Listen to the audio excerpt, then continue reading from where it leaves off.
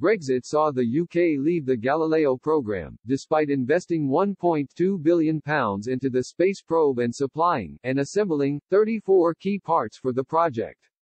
The Global Navigation Satellite System GNSS, also known as Galileo, was built to rival the U.S. GPS system, boasting a Public Regulated Service PRS, to be used by government agencies, the armed forces and emergency services when it goes live in 2026 but the EU determined its most crucial feature, PRS, would only be accessible for bloc members when the first satellite launches.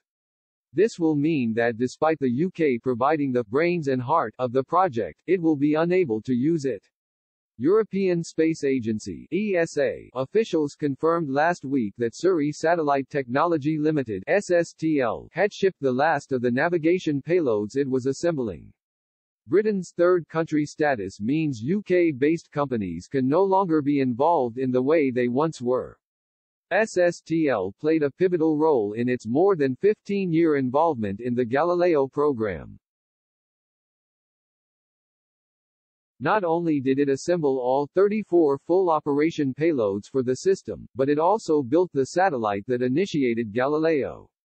Called Giove-A, this spacecraft, launched in 2005, was the pathfinder that secured for the EU the use of its all-important radio frequencies.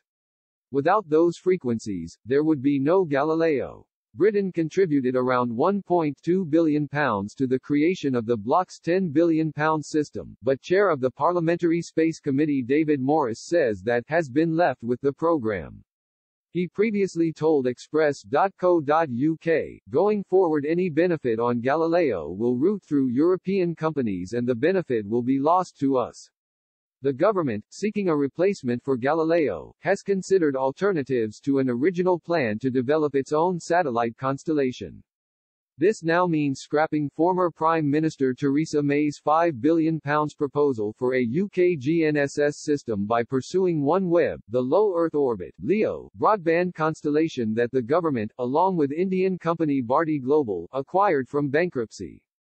The new Space-Based Positioning Navigation and Timing Program SBPP will consider newer, more innovative ideas of delivering global SAT-NAV and secure satellite services to meet public, government and industry needs. British companies previously involved in Galileo will be hoping a concrete proposal comes forward soon so that they can transfer across all the knowledge and expertise built up over two decades. But the UK will not be able to keep hold of them all. Mr. Morris explained, SSTL was bought by Airbus and its development heart has been moved to Toulouse.